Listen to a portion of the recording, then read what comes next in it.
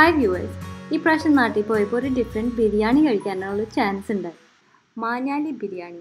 മാഞ്ഞാലി ബിരിയാണിനെ പറ്റി ഒരുപാട് കേട്ടിട്ടുണ്ട്.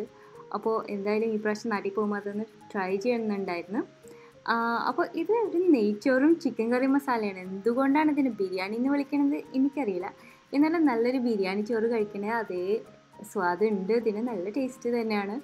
അപ്പോൾ എനിക്ക് ഇഷ്ടമായി ഉണ്ടാക്കാനും വളരെ സിമ്പിളാണ് ആ ഒരു അതിന്റെ ഒരു മണവും അതിന്റെ ഒരു ടേസ്റ്റൊക്കെ കിട്ടിയിട്ട് ഞാൻ വീട്ടിൽ ഇതേപോലെ പരീക്ഷിച്ചിട്ടുണ്ട്. പിന്നെ യൂട്യൂബിലും അതിന്റെ ഉണ്ടാക്കണ ഒരു ഹോട്ടലിലത്തെ ഒരു വീഡിയോ ഉണ്ടായിരുന്നു. ആ രീതിയിൽ തന്നെ ഞാൻ ഫോളോ ചെയ്തപ്പോൾ എനിക്ക് നല്ല റിസൾട്ട് കിട്ടിയില്ല.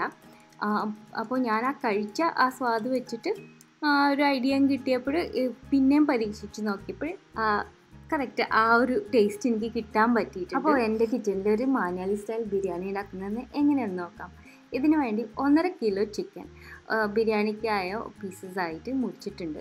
ഇതിലേക്ക് ഒരു ടേബിൾ സ്പൂൺ കാശ്മീരി മുളക് പൊടി നല്ല കളറുള്ളത് പക്ഷേ എരിവ് കുറവുള്ളതും പിന്നെ ഒരു ടീസ്പൂൺ ഒരു ടീസ്പൂണിനേക്കാളും കുറച്ച് കുറവ് എരിവുള്ള മുളക് പൊടിയും കൂടി ചേർക്കുന്നുണ്ട്. ഇതിന്റെ ഒപ്പം മുക്കാൽ ടീസ്പൂൺ മഞ്ഞൾപ്പൊടി പിന്നെ ഉപ്പ് ഒന്നര ടീസ്പൂൺ ഇതൊക്കെ ചേർത്ത് ഒന്ന് നന്നായി പുരട്ടി വെക്കാൻ പോവാണ്. ഈ മാഞ്ഞാലി ബിരിയാണിക്ക് തൈരിന്റെ ആവശ്യമില്ല കേട്ടോ. പിന്നെ പുതിനയും ഉപയോഗിക്കുന്നില്ല. അപ്പോൾ നിങ്ങൾക്ക് ഇഷ്ടമുണ്ടെങ്കിൽ ഇതിൽ കുറച്ച് തൈര് വേണമെങ്കിൽ ചേർക്കാം. പക്ഷെ അതിന്റെ ആവശ്യമില്ല. അങ്ങനെ ഇത് പുരട്ടി വെച്ച് ഒരു ഇരുപത് മിനിറ്റ് ഞാൻ മാറ്റി വയ്ക്കാൻ പോവാണ്. ചിക്കൻ പുരട്ടി വെച്ച സമയത്ത് ഇഞ്ചി വെളുത്തുള്ളി സവാള ഒക്കെ നന്നാക്കാൻ പറ്റും നമുക്ക്. അപ്പോൾ ഇതിന് വേണ്ടി ഒരു കാൽ കപ്പ് ടു ഫോർട്ടി മില്ലിയുടെ മെഷീൻ കപ്പാണ് ഞാൻ ഉപയോഗിക്കുന്നത്. അതിലൊരു കാൽ കപ്പ് ഇഞ്ചി കഷ്ണങ്ങളാക്കിയതും അര കപ്പ് വെളുത്തുള്ളി. വെളുത്തുള്ളി നമ്മുടെ നാടൻ ആ ചെറിയ അല്ലിയുള്ള വെളുത്തുള്ളിയാണ് ഏറ്റവും നല്ലത്. ഇന്നെന്റെ ഞാൻ എനിക്ക് സമയമില്ല ഇത് നന്നാക്കാൻ. അതുകൊണ്ട് ഞാൻ വലിയ വെളുത്തുള്ളിയാണ് ഉപയോഗിക്കുന്നത്. അപ്പോൾ കാൽ കപ്പ് ഇഞ്ചി അര കപ്പ് വെളുത്തുള്ളി ഇത് കുറച്ച് വെള്ളവും കൂടി ചേർത്തിട്ട് നന്നായിട്ടൊരു പേസ്റ്റ് ആക്കി എടുക്കാൻ പോവുകയാണ്.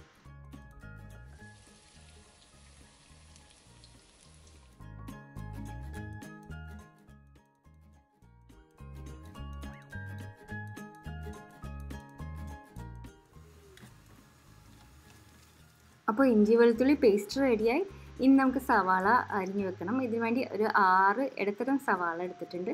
അതൊന്ന് സ്ലൈസ് ചെയ്ത് മാറ്റി വെക്കുന്നുണ്ട്.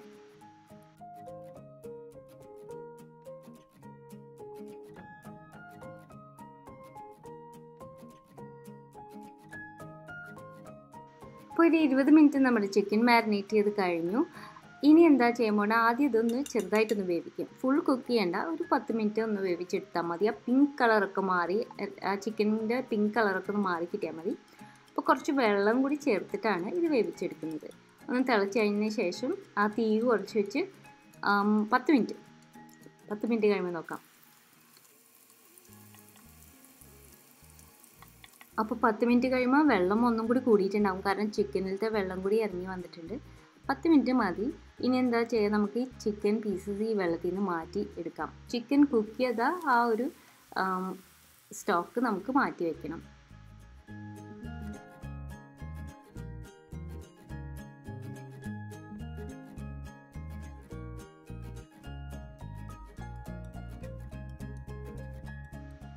അപ്പോൾ ഒരു പകുതി കുക്കായ ഒരു ചിക്കനും അതിന്റെ സ്റ്റോക്കും നമ്മളിങ്ങനെ മാറ്റി വെച്ചിട്ടുണ്ട്.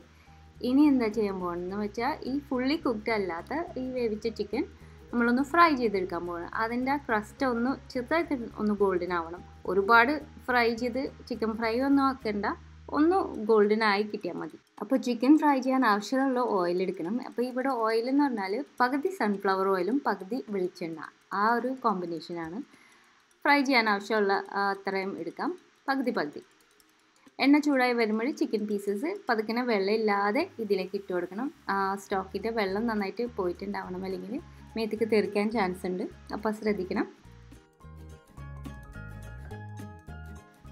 നേരത്തെ പറഞ്ഞ പോലെ തന്നെ ഒരുപാട് കൂടുതൽ ഫ്രൈ ചെയ്യേണ്ട ആവശ്യമൊന്നുമില്ല. ഒരു സൈഡ് ചെറുതായിട്ടൊന്ന് ഗോൾഡൻ ക്രസ്റ്റ് വന്നതിന് ശേഷം നമുക്ക് മറിച്ചിടാം. എന്നിട്ട് അടുത്ത സൈഡും അതേപോലെ ഫ്രൈ ചെയ്തെടുത്താൽ മതി.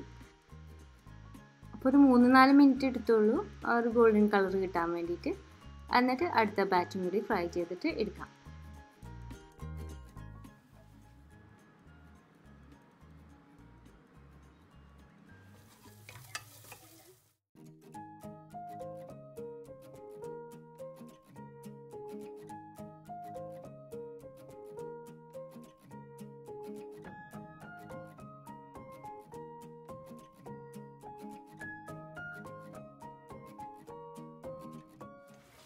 അങ്ങനെ രണ്ട് ബാച്ചസിലായിട്ട് ചിക്കൻ ഫ്രൈ ചെയ്ത് മാറ്റി വെച്ചിട്ടുണ്ട്.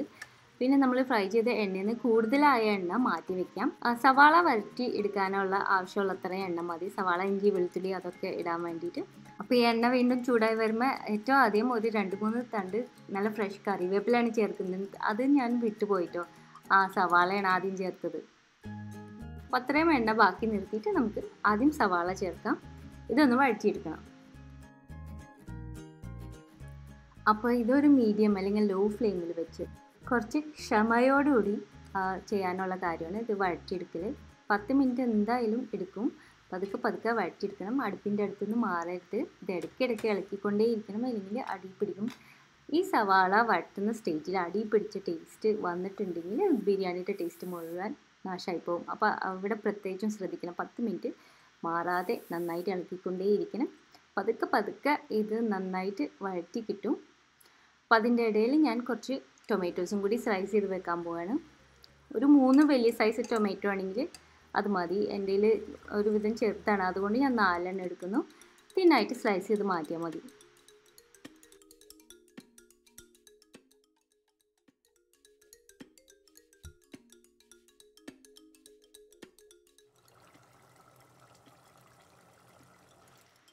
ഇപ്പോൾ പത്ത് മിനിറ്റ് പതുക്കെ പതുക്കെ വഴറ്റിയ സവാള ഇപ്പോൾ ഈ ഒരു പരുവിലായിട്ടുണ്ട് നന്നായിട്ട് ഒരു ഗോൾഡൻ ബ്രൗൺ കളർ പക്ഷേ ഡാർക്ക് ആയിട്ടൊന്നുമില്ല.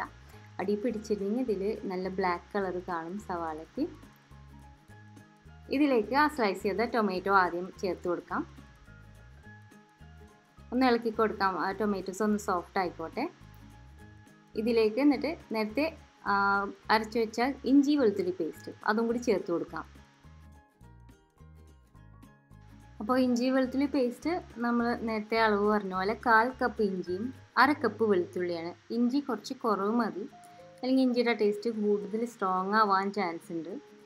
പിന്നെ ഇതിൽ പച്ചമുളകൊന്നും ചേർക്കുന്നില്ല നമ്മൾ ഈ മുളക് പൊടി ആണ് ഇതിന്റെ മെയിൻ എരിവിനുള്ള ഐറ്റം കുരുമുളക് പൊടിയും ഇല്ല ഇതിൽ അപ്പോൾ വേണമെന്നുണ്ടെങ്കിൽ കുറച്ച് പച്ചമുളക് ചേർത്ത് കൊടുക്കാം. അത് നിങ്ങളുടെ താല്പര്യം അനുസരിച്ച്.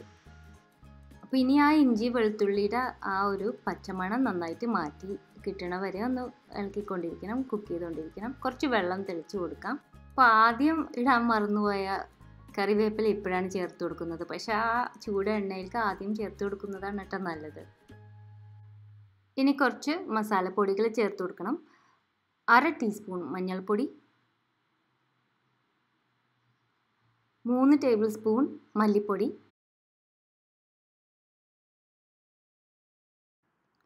മുക്കാൽ ടേബിൾ സ്പൂൺ കാശ്മീരി മുളക് പൊടി. ഇനി പതുക്കനെ ഒന്ന് ഇളക്കി കൊടുക്കാം. ഒരുപാട് നേരം കുക്ക് ചെയ്യേണ്ട അല്ലെങ്കിൽ അടി പിടിച്ചൊരു മണം വരും. കുറച്ച് വെള്ളം തെളിച്ച് കൊടുക്കാം. പിന്നെ നമ്മൾ നേരത്തെ മാറ്റി വെച്ച ചിക്കൻ കുക്ക് ചെയ്ത ആ സ്റ്റോക്ക് അതും ചേർത്ത് കൊടുക്കുന്നുണ്ട്. പിന്നെ അതിന്റെ ഒപ്പം ഒരു ഒന്നൊന്നര കപ്പ് വെള്ളം കൂടി ചേർക്കാൻ വേണമെങ്കിൽ. ആ വെള്ളത്തിന്റെ ആ ബാക്കി വരുന്ന സ്റ്റോക്കിന്റെ അളവനുസരിച്ചിട്ട് വേണം അത് ചേർക്കാൻ. പിന്നെ ഇതിലേക്ക് ഒരു ടീസ്പൂൺ നല്ല നാടൻ ഗരം മസാലപ്പൊടി എന്റെ നാടൻ ഗരം മസാലപ്പൊടിയുടെ റെസിപ്പി ചെക്ക് ചെയ്തോളൂ. നല്ലൊരു ഗരം മസാലയാണ് അത്. അതില്ലെങ്കിൽ നല്ല വില ബിരിയാണി മസാലപ്പൊടി ഉണ്ടെങ്കിൽ ഒരു ടീസ്പൂൺ ചേർത്താൽ മതി. പിന്നെ പാകത്തിന് ഉപ്പ്. ആ ഉപ്പും ചേർത്തതിന് ശേഷം നമുക്ക് ആ പകുതി ഫ്രൈ ചെയ്ത് വെച്ച ചിക്കനും കൂടി ചേർത്ത് നന്നായിട്ടൊന്ന് മിക്സ് ചെയ്ത് കൊടുക്കാം. വെള്ളം പോരാന്നുണ്ടെങ്കിൽ കുറച്ചും കൂടി ചേർത്ത് കൊടുക്കാം. എന്നിട്ട് ഇതൊന്ന് ചെറിയ തീയിൽ വെച്ച് പതുക്കനെ ഒന്ന് വേവിച്ചെടുക്കണം. ചിക്കൻ ഒന്ന് നന്നായി സോഫ്റ്റായി വരണം. അടി പിടിക്കാതെ പ്രത്യേകിച്ചും ശ്രദ്ധിക്കും വളരെ കെയർഫുൾ ആയിരിക്കണം ഈ സ്റ്റേജിൽ ഈ മസാല അടി പിടിച്ചാൽ ടേസ്റ്റ് മുഴുവൻ പോകും. സവാള വഴറ്റുമ്പോഴോ ഇഞ്ചി വെളുത്തുള്ളി വഴറ്റുമ്പോഴും ഈ ചിക്കൻ ചേർത്തതിന് ശേഷം അതൊന്ന് വറ്റിച്ചെടുക്കണ സമയത്തും വളരെ കെയർഫുൾ ആയിരിക്കണം കേട്ടോ അടി പിടിച്ച ടേസ്റ്റ് തീരെ വരല്ലേ? എന്നിട്ട് നമുക്ക് ഇതിലേക്ക് ഒരു അരമുക്കാൽ കപ്പ് നല്ല ഫ്രഷ് ചോപ്പ് ചെയ്ത മല്ലിയില. ഇതും കൂടി ചേർത്ത് കൊടുക്കാം. അപ്പോൾ ഈ മാഞ്ഞാലി സ്റ്റൈൽ ബിരിയാണി മസാലയിൽ പുതിന ഇല ചേർക്കണില്ല. പുതിന ഇല അല്ല അത് നമുക്ക് കറിവേപ്പിലയും മല്ലിയിലയാണ് ചേർക്കുന്നത്. അപ്പോൾ ഈ മസാല ഒക്കെ റെഡി ആയി കഴിഞ്ഞ് ചിക്കന് സോഫ്റ്റ് ആയിരുന്നു ഒന്ന് ചെക്ക് ചെയ്തതിന് ശേഷം ഇതിലേക്ക് ഒരു ടീസ്പൂൺ ഫ്രഷ് ആയിട്ട് എടുത്ത നാരങ്ങ നീരും ഒരു ടീസ്പൂൺ നെയ്യും കൂടി ചേർത്ത് ഇത് മാറ്റി വെച്ചു. അപ്പോൾ ചിക്കൻ മസാല റെഡിയായല്ലോ ഇനി നമുക്ക് നെയ്ച്ചോറിന് വേണ്ടിയിട്ടുള്ളത് നോക്കാം. ഇതിന് വേണ്ടി നാല് കപ്പ് കൈമാരി എടുത്തിട്ടുണ്ട്. അത് നന്നായി കഴുകിയതിന് ശേഷം പത്ത് മിനിറ്റ് വെള്ളത്തിൽ സോക്ക് ചെയ്തു. എന്നിട്ട് നന്നായി നേരത്തെ ഡ്രെയിൻ ചെയ്ത് വെച്ചിരുന്നു. അപ്പോൾ നെയ്ച്ചോറിന് വേണ്ടി ചൂട് കട്ടിയുള്ള ഒരു നല്ല നെയ്ച്ചോറുണ്ടാക്കാൻ പറ്റിയൊരു പാത്രം. അത് ചൂടായി വരുമ്പോൾ അതിലേക്ക് നാല് ടേബിൾ സ്പൂൺ നെയ്യ് ഒഴിച്ച് ചൂടാക്കാം.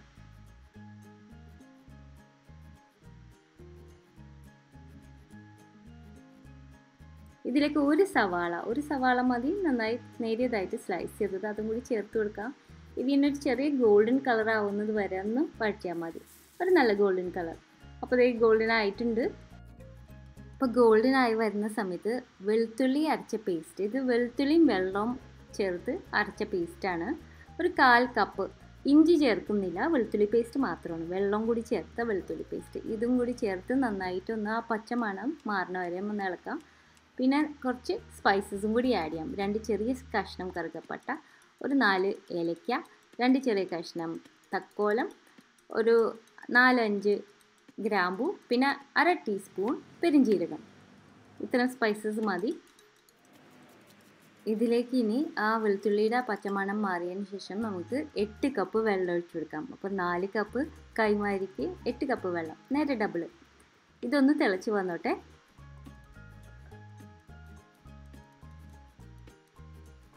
തിളയ്ക്കുമ്പോൾ തന്നെ ഇതിലേക്ക് ഉപ്പ് ചേർത്ത് കൊടുക്കാം. നാല് കപ്പ് അരിയാണ്. അപ്പോൾ മൂന്നര ടീസ്പൂൺ ഉപ്പ് മതി. എന്നിട്ട് വേഗം തന്നെ തിളയ്ക്കുമ്പോൾ നമുക്ക് ഈ ഡ്രെയിൻ ചെയ്ത അരി ഇട്ട് കൊടുക്കണം. കൂടുതൽ നേരം തിളയ്ക്കാൻ വിടരുത്. അല്ലെങ്കിൽ വെള്ളത്തിന്റെ അളവ് മാറിപ്പോവും. വേവ് മാറിപ്പോവും അരിയുടെ. അപ്പോൾ തിളച്ച ഉടനെ അരി ഇട്ട് കൊടുക്കാം. ഒന്ന് മിക്സ് ചെയ്ത് കൊടുക്കാം. ഇതിലേക്ക് ഒരു ടീസ്പൂൺ നാരങ്ങ നീര്. നല്ല ചോറിന് നല്ല വൈറ്റ് കളർ ഉണ്ടാവാൻ വേണ്ടിയിട്ടാണ് നാരങ്ങ നീര് ചേർത്ത് കൊടുക്കുന്നത്. ഇതിനി ലോ ഫ്ലെയിമിൽ വെച്ചിട്ട് നമുക്ക് കുക്ക് ചെയ്തെടുക്കണം. ആ വെള്ളം വറ്റി വരുന്നത് വരെ. വറ്റി ഒരു വിധം വെള്ളം മുഴുവൻ വറ്റി വരണ സമയത്ത് നമുക്കിതിലേക്ക് ഒരു ക്യാരറ്റ് ഗ്രേറ്റ് ചെയ്തതും അര കപ്പ് പൈനാപ്പിളും കൂടി ചേർത്ത് കൊടുക്കണം. ഇത് ആദ്യം ചേർക്കണ്ട. അല്ലെങ്കിൽ പൈനാപ്പിൾ ഭയങ്കര ഹാർഡായി പോവും. ആ നല്ല ചൂടുള്ള ചോറിൽ ഇത് നന്നായിട്ടൊന്ന് മിക്സ് ചെയ്ത് കൊടുത്താൽ മതി. കുറച്ച് വെള്ളം ബാക്കി നിൽക്കുന്ന സമയത്താണ് ഇത് ചേർത്ത് കൊടുത്തത്. എന്നിട്ടൊന്ന് മിക്സ് ചെയ്തതിന് ശേഷം നമ്മളിത് മൂടി വെച്ചിട്ട് ഒരു പത്ത് മിനിറ്റ് ലോ ഫ്ലെയിമിൽ ഒന്ന് ദം ചെയ്യാൻ പോവുകയാണ് അപ്പോൾ ഏറ്റവും ചെറിയ ബേണറിലേക്ക് മാറ്റാം. എന്നിട്ട് മൂടി വെച്ചിട്ട് വേണമെങ്കിൽ മൈദാമാവ് കൊണ്ട് മൂടിയിട്ട് ചുറ്റും ഞാൻ ഒരുപാട് വീഡിയോസിൽ കാണിച്ചിട്ടുണ്ട്. മൈദമാവ് കൊണ്ട് ചുറ്റി പത്ത് മിനിറ്റ് ഈ ചോറ് ദമ്മ്. മസാല ഒന്നും ഇല്ലാണ്ട് ആ പൈനാപ്പിളും ക്യാരറ്റും മാത്രം ഇട്ടിട്ട് ഒരു ദമ്മ് അപ്പോൾ നല്ലൊരു സെന്റ് വരും നമ്മുടെ ആ റൈസിന് വേണ്ടിയിട്ട്. എന്നിട്ട് ദമ്മ് കഴിഞ്ഞ് ചൂടാറി കുറച്ച് നേരം കഴിയുമ്പോൾ നമുക്ക് ആ മൈദ ഒക്കെ പൊട്ടിച്ച് ആ ചോറ് എടുക്കാം. നല്ല സോഫ്റ്റ് ആയിട്ടുള്ള നല്ലൊരു ഫ്രേഗ്രന്റ് നെയ്ച്ചോറാണ്. ഇപ്പോൾ ഇതൊന്നുമില്ലെങ്കിൽ മസാല വേറെ സൈഡിലും നെയ്ച്ചോറ് ഇതുപോലെ നടുക്കും ഇട്ട് കൊടുക്കാം. അല്ലെങ്കിൽ മസാല പ്ലേറ്റിന്റെ നടുക്കിട്ടിട്ട് അത് പൊതിഞ്ഞ് കൊടുക്കാം നമുക്ക് ചോറ് കൊണ്ട്. ബിരിയാണി പോലെ തന്നെ സെർവ് ചെയ്യാം. അങ്ങനെ സെർവ് ചെയ്യുകയാണെങ്കിൽ കുറച്ച് ഗോൾഡൻ ഫ്രൈ ചെയ്ത സവാള അണ അണ്ടിപ്പരിപ്പ് ഇതൊക്കെ വേണമെങ്കിൽ ചേർത്ത് കൊടുക്കാം. കുറച്ച് സാലഡും ചേർത്ത് കഴിച്ചാൽ നല്ല ടേസ്റ്റ് ഉണ്ട് കേട്ടോ വളരെ സിമ്പിളാണ് ബിരിയാണി ഉണ്ടാക്കാൻ അത്ര ബുദ്ധിമുട്ടില്ല. ഈ മഞ്ഞാലി ബിരിയാണി ട്രൈ ചെയ്ത് നോക്ക് ഇഷ്ടപ്പെടുന്നു വിചാരിക്കുന്നു. അടുത്ത പ്രാവശ്യം നല്ലൊരു റെസിപ്പി ആയിട്ട് വരുന്നത് വരെ. Thanks for watching and bye from Shana